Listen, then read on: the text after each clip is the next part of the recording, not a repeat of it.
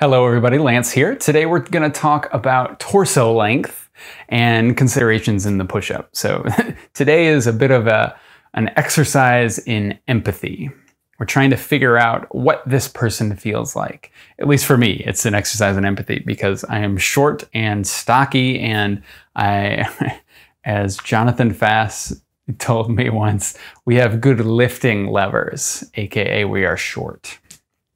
Um, so you train someone who's tall and they just can't get the stiffness that you know is so you're so used to getting.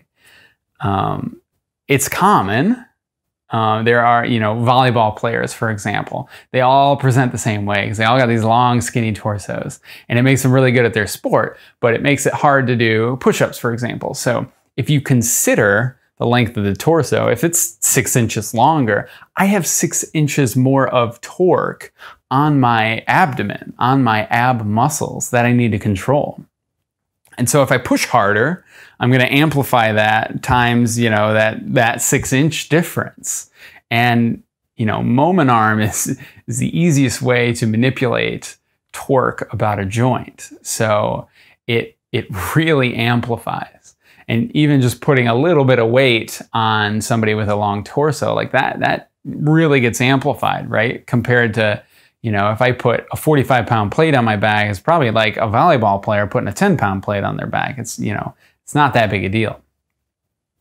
Um, so you need to be able to consider the shape of the person, what they've been given, like the hand they've been dealt, and then what that means for their performance. So, you know, in the volleyball example, it makes them really good at their sport. They have good reach. They are they have good vision, like they can see a lot more on the court. Uh, but doing push-ups might not be that great, um, or they might not excel at doing push-ups. Push-ups might still be a very good idea for them, and you should still train them.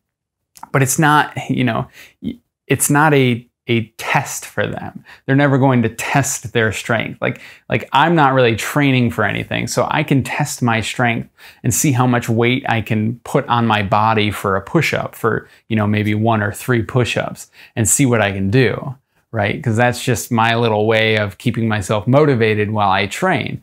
But for them, they're never going to do that because they're never good at push-ups and they're when they when they get better at it, they're not they're very small increments, right, of of improvement. But being able to stabilize that long trunk while moving and loading their upper body is tremendously valuable for them. Okay. Um, and, you know, if you flip flop it, instead of thinking like this person is weak at this, what if you have a short person? Maybe give them push ups, maybe give them squats and deadlifts because they're going to be really good at that stuff.